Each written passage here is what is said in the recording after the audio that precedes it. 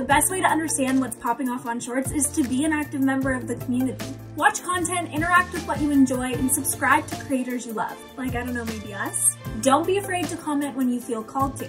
I find the comment section is often just as entertaining as the video itself, and it's a great way to connect with fellow viewers and creators. Being an active member of the Shorts community makes it super easy to spot trends you want to participate in. Once you start creating, it's likely that you'll start to get comments on your own videos. Love when creators respond, so don't hesitate to do so. Interacting directly with your audience can actually help you as a creator understand what your audience wants to see more of.